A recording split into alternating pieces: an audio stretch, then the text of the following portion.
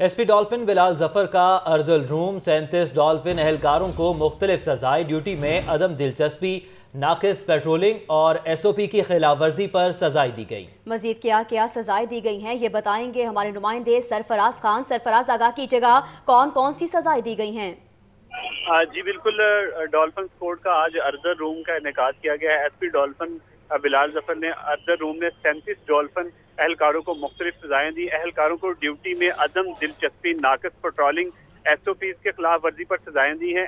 اہلکاروں کو تنخواہ میں کٹوتی سروس ضبط کر لی گئی اور جرمانہ اور دیگر محکمانہ سزائیں سنائی گئی ہیں۔ گیارہ اہلکاروں کو ڈیوٹی میں عدل عدم دلچسپی اور ایس او پیز کے خلاف ورزی پر سروس ضبط کر لی گئی ہے۔ نو اہلکاروں کو ناقص پٹرولنگ اور ڈیوٹی کے لیے لیٹ آؤٹ آنے پر جرمانے کی سزا دی گئی ہے۔ تیرہ اہلکاروں کو بر وقت رسپانس نہ کرنے پر شو کا نوٹس جاری کیا گیا ہے۔ چار اہلکاروں کو وارننگ دیتے ہوئے آئندہ محتاط رہنے کی ہدایت دی گئی ہے۔ اور اس حوالے سے ایس پی ڈالفن کا کہنا تھا کہ کام چور، نا اہل اور ڈپٹی میں عدم دلچسپی ظاہر کرنے والے اہلکاروں کو برداشت نہیں کیا جائے گا۔ جی۔ بہت شکریہ آپ کا، سرفراز خان۔